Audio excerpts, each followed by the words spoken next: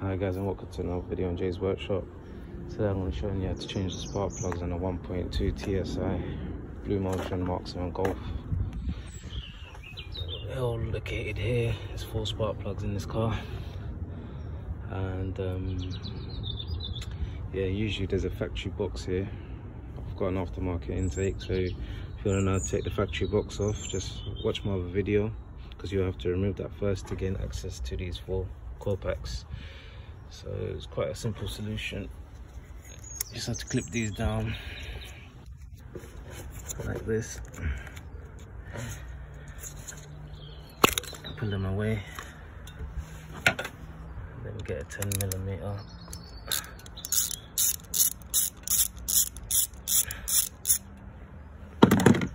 Socket and remove these 10 millimeter bolts. Like so make sure you don't lose them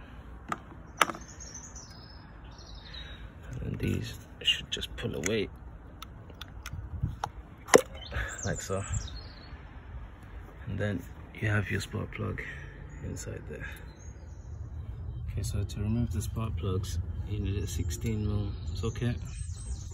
And with these golfs new ones that have plugs that look like this so the head looks like they've been chopped off but that's just the way they are. The double platinum and if you need a part number it is there. That's the ones you need for the 1.2s and the 1.4s so what I need is a 16 mil spark plug socket. So I'm gonna get my socket into there. And I want to slowly start taking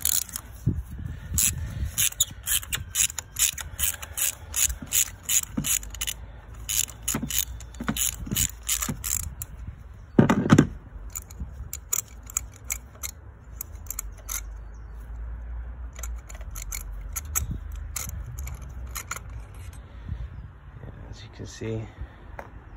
That's definitely done its time. So take this one out. They're the original ones.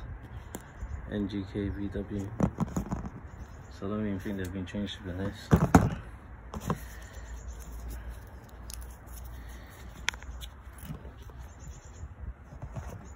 New ones in there. Comes with a little copper washer on it. I'm just gonna put that in.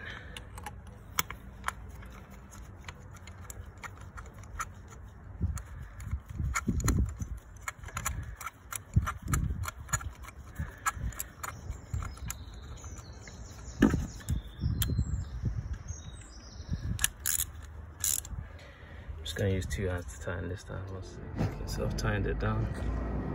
I'm gonna get the coil pack. Back in. I'm gonna leave this connector off for now because I'm gonna be removing the rest. Okay, and put this screw back in as well.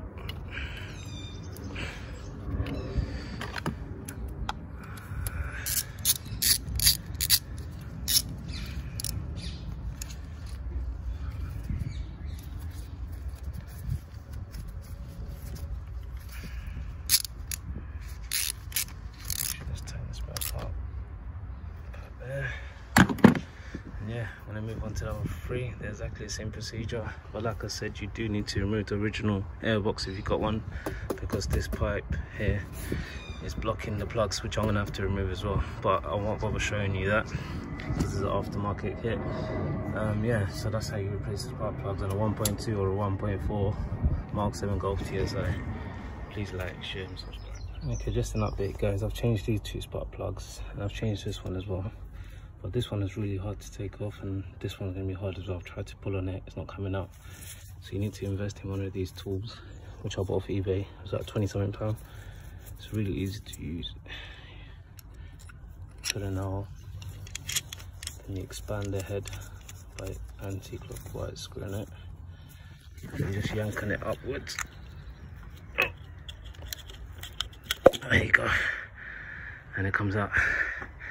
You can see how hard it was even to pull it with a tool. So just trying to pull it like this is definitely not going to work, mate. So definitely advise you buying one of these tools